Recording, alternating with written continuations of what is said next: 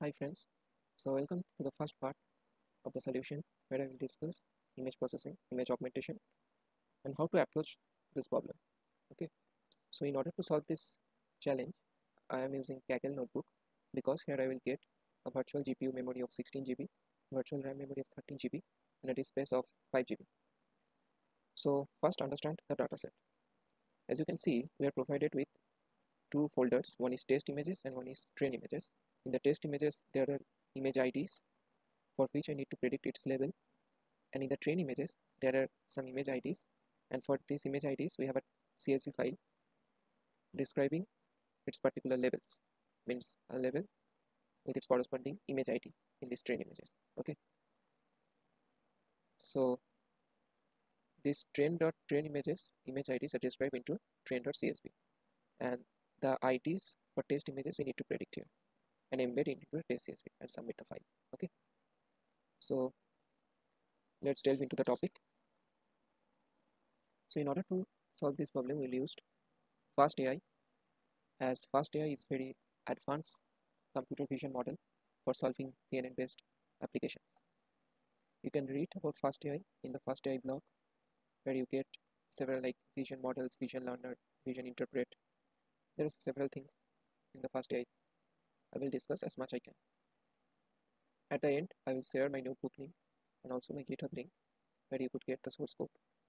And I think this project is a very good one for the starters who are willing to build their career in deep learning and also in computer vision related applications. Okay, so let's import FastAI and let's import the train.csv. Okay, so as you can see, in the train CSV file one is image and one is class. The class is corresponding to that particular image okay? So let's find out how many class levels are present in the CSV file. So train class dot value count yeah we got there are total four unique classes food attire miscellaneous and decorations okay?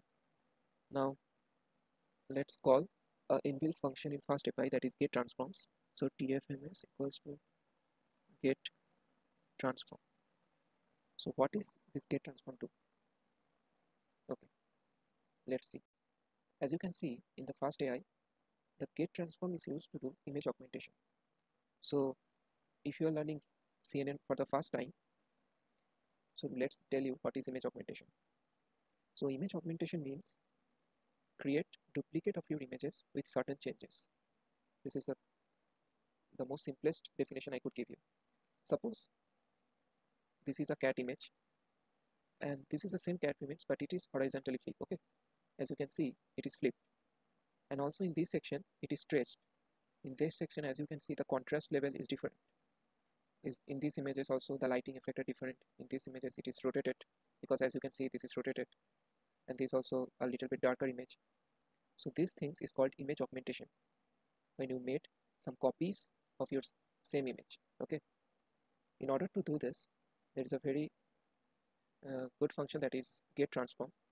And in the parameter of get transform you could pass how much amount of rotate you want if you want, want horizontal flip or not vertical flip or not.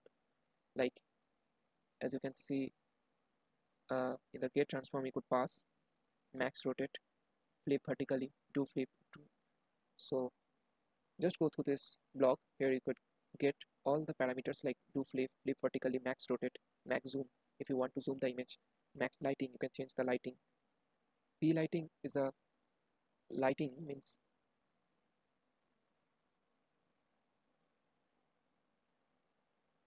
okay so these all things extra tfms if you want your custom image augmentation then you can use extra tfms okay so these are the section you need to learn. And if you want to know better about each and every parameter let's go through this topic. Okay so let's back to our kernel so we call tfms okay. Get transform cities. Okay. Now let's set the path. Um, input. Okay. Let's set the path of it. As you can see this is the path of me. Because after the train images we could get the image IDs so I will set the path. Yeah it is done Now what I need to do to train the model, I need to fetch the labels of the train uh, image IDs from the train.csv. So let's see how to do that. For this, I will use image list. Okay, so np dot random dot set zero. I'll define the source image list dot from CSV. I will pass the argument path in which CSV file the labels are containing and I will also define the folder where my train images are present. Train images, okay. So, so let's shuffle the data so that it doesn't get overfitted.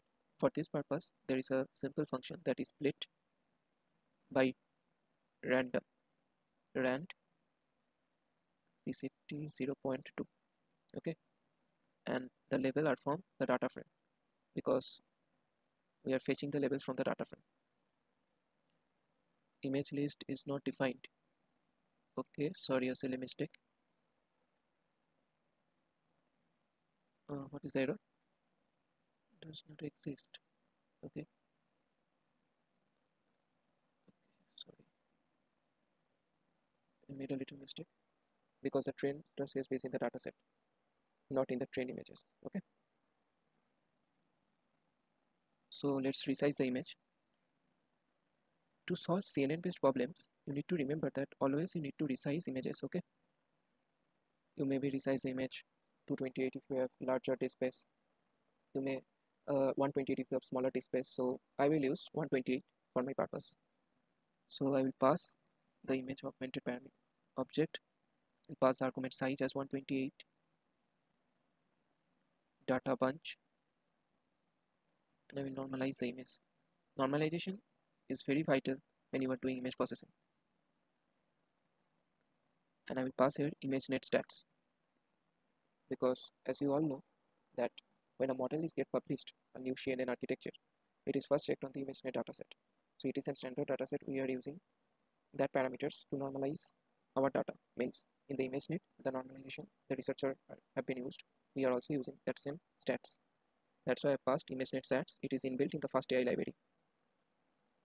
Now let's see the data. Okay.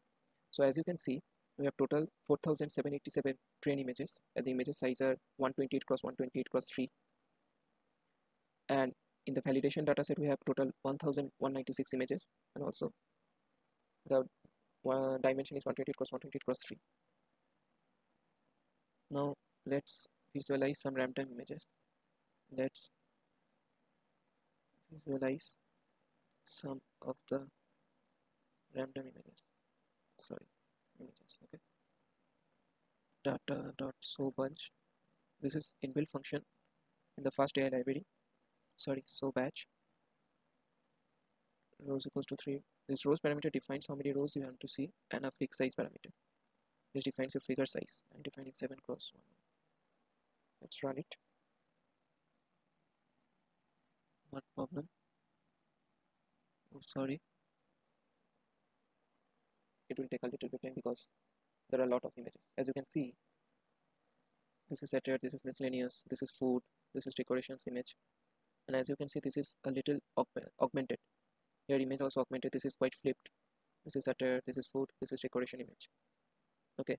Thus we created image augmentation and also resizing of images. Because resizing is a very vital part when you are solving image processing related hackathons.